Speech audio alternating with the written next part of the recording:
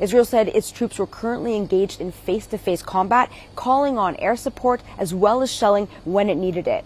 A video released by the military shows troops and tanks going through grassland to what appears to be a bombed out building. The offensive, however, has taken a toll. Israel said that it has lost about a dozen soldiers since it began. Hamas said it is fighting back. On Friday, it said it killed several Israeli soldiers as well as destroyed tanks and other infrastructure. Hamas has also accused Israel of striking near three hospitals in Gaza City. One of the hospitals, Al Shifa Hospital, Hamas said that it Israel hit an ambulance as well as other cars while staff were taking patients out of the hospital to go towards the Rafah border to take them into Egypt. Israel acknowledged hitting an ambulance, but it said that Hamas was using it for its operations.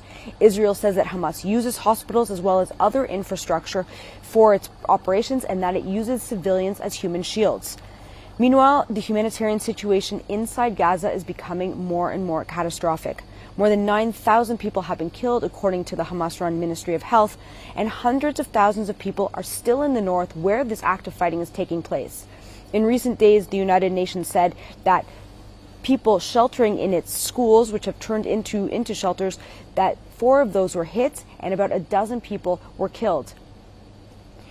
Israelis were on heightened alert on Friday after the speech by Hezbollah, Hezbollah leader Nasrallah. Israel didn't respond directly to the speech, but I spoke to one resident, Misha, who's living in the north. He said that while Nasrallah's speech didn't move the needle for him, people there are living in fear. They are hearing rockets in areas where they have never heard them before. Amid all of this activity has been increased diplomacy. On Friday, Secretary of State Antony Blinken came to Israel for the third time since the war began. He told Netanyahu that Israel, the United States, stood behind Israel. However, he said that there needed to be more aid that was coming into Gaza. There needed to be more focus on protection of civilians and that there needed to be a humanitarian pause. First, Blinken met with Netanyahu behind closed doors. He then met with his war cabinet. Blinken also pushed for a renewed path to talks about a two state solution. Netanyahu, after the talks with Blinken, rejected a ceasefire. He said that he would only consider a ceasefire when all of the hostages were returned.